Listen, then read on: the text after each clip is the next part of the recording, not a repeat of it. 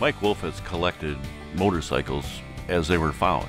Several different kinds, makes, Harley Davidson and Indian from almost the earliest years up through maybe 1970. They are all like they were when he pulled them out of the barn. When I buy a bike from the 20s or the 30s, I'm looking at the bike, but to me, I'm romanticizing in a way of like what this country was like then. I've always wanted to preserve motorcycle history and share it with the world. I'm Mike Wolfe, and this is my motorcycle collection.